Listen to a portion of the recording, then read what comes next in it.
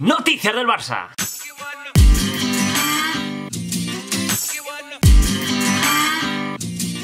¿Qué tal amigos? ¿Cómo estáis? Bienvenidos a un nuevo vídeo, bienvenidos a las noticias del Barça, ya sabéis, las mejores informaciones del día en el equipo culé, todas recopiladas en este vídeo, pero antes de empezar tengo que pedirte que te suscribas al canal, cosa que puedes hacer justamente por aquí debajo, para que no te pierdas ninguno de los vídeos que voy subiendo cada día con toda la actualidad pues efectivamente, en el mundo del fútbol. Empezamos hablando de la selección francesa. ¿Por qué? Porque han jugado dos jugadores del Barça hoy con el combinado nacional francés. El primero, Samuel Untiti, titular. Ha jugado 64 minutos. Bastante buen partido. Tampoco le ha exigido demasiado Irlanda. Y luego salió también Osman Dembélé en el minuto 77 de partido, aunque poco hemos visto Osman Dembélé entrando tan tarde. También hay un objetivo del Barça que ha jugado hoy con Francia, pero no salió como titular, como es el caso de Antoine Griezmann. Ya repasado el vídeo de antes el mensaje que le ha mandado Enrique Cerezo, diciendo que de momento pues es jugador del Atlético de Madrid. El mensaje que ha mandado su hermano después del partido, que no ha sido otro que este. Te quiero Atlético, lo, lo, lo, te quiero Atlético,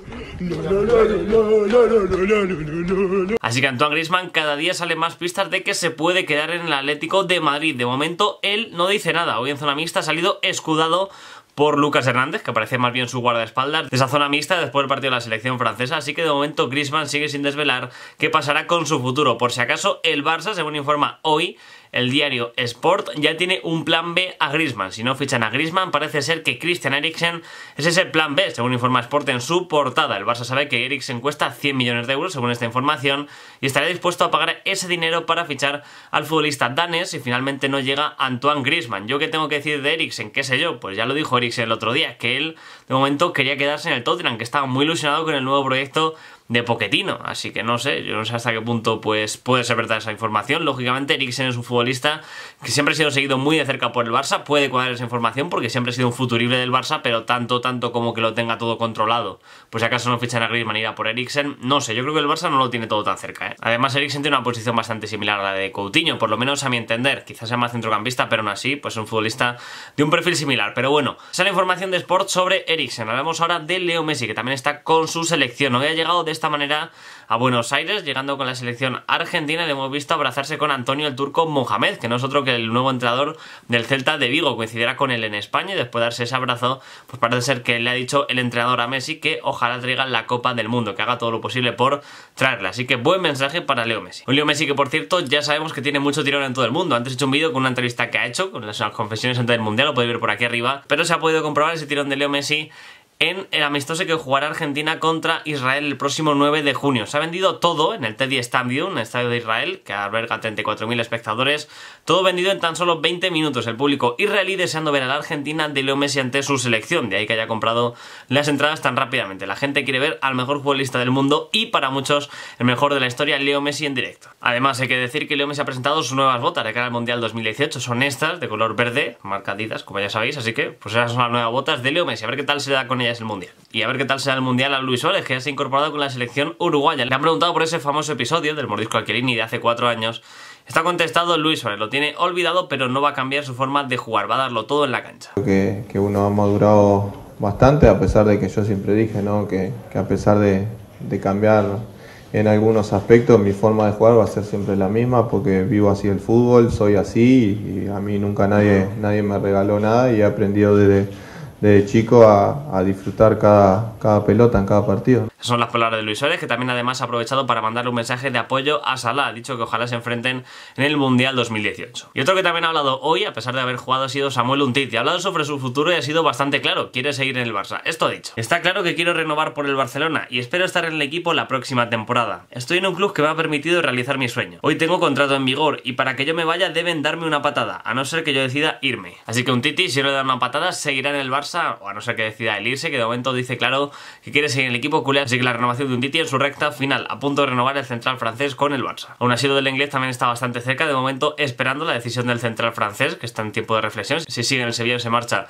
al Fútbol Club Barcelona y el que tampoco sabemos qué pasará con él es Jerry Mina. El Barça tomará decisiones después del Mundial 2018. Hay que decir que hoy ha sido protagonista en un entrenamiento en Bérgamo, en la ciudad italiana, jugará contra Egipto, precisamente Colombia, y bueno, Jerry Mina ha sido entrenado por Cambiaso, Esteban Cambiaso, así así que formando parte de esa selección colombiana, Esteban Cambies, el ex del Real Madrid, que es nuevo ayudante de Peckerman. Y tampoco sabemos qué pasará con Denis Suárez, parece que seguirá en el Barça, por lo menos es lo que nosotros queremos y lo que hemos informado por aquí todos estos meses. Hay que decir que he estado en Milán de viaje y nada, simplemente compartir estas imágenes de Denis Suárez, que ya está de vacaciones. Y el que está buscando destino, ese sí que sí, André Gómez, ya ha vaciado su taquilla, ya lo recordamos por aquí, ya analizamos todo, cómo está la situación y está muy cerca del Nápoles. Ha hablado el lateral Mario Rui, que es compatriota suyo de Portugal. Ha hablado en Abola y ha dicho que André Gómez le recibirían con los brazos abiertos todo el vestuario en el Nápoles y que estarían encantados de que fichara por el equipo napolitano. Así que bastante cerca, parece ser André Gómez del Nápoles. Cada día pues da pasitos hacia esa salida hacia el cuadro napolitano. Veremos cuánto dinero dejan en las arcas del Barça. Y el que parecía que se iba a ir y de momento le ha dicho el Barça que frene es Sergi Samper. ¿Por qué? Pues porque Busquets juega ese mundial. Recordemos que muchos futbolistas se tienen que incorporar pues prácticamente cuando acaba el mundial.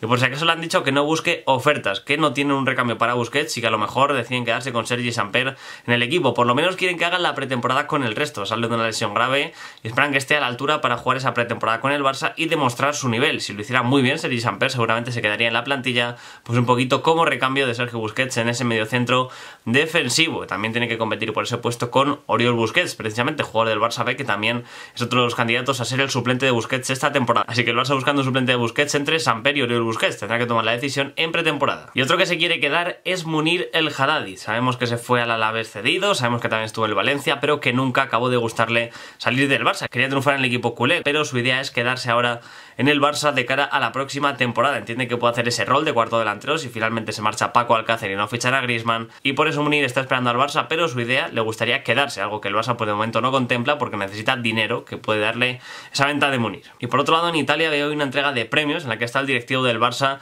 Aurelio Braida, y le han preguntado por Donnarumma, surrealista. Han dicho que si Donnarumma podría fichar por el Barça, que yo no sé qué periodistas habría por allí o qué se les pasaría por la cabeza. Y ha dicho Braida que no, que el Barça tiene portero de garantías y que no necesitan al propio Donnarumma. Llamativo, llamativo, lo que le pregunten por eso Braida, yo alucino. Y esta semana en el Barça va a haber muchas reuniones, una semana de reuniones en la que se avecina entre Valverde, Bartomeu y los miembros de la parcela directiva, el resto de directivos, Pep Segura, Cardoner y demás, un poco planificando la próxima campaña, perfilando un poco todo lo que le ha pedido ya la directiva al propio Ernesto Valverde es que se centre en la Champions League la próxima campaña. Entiende desde la directiva que este año le han dejado el título al Madrid en bandeja, que el Barça puede haber competido por ese título, pero que por haber caído eliminado ante la Roma, pues al final ha pasado lo que ha pasado. Entiende que Valverde le ha dado la misma importancia a todas las competiciones y tenía que haber priorizado la Champions League, que era el torneo que necesitaba ganar el Barça. Así que le han dicho que para la próxima temporada espabile, le han pedido eso, que se centre en la Champions League. Así que nada, básicamente esto es todo lo que ha pasado hoy en el Fútbol Club Barcelona. Me gustaría conocer tu opinión al respecto, la puedes dejar pues aquí debajo en los comentarios.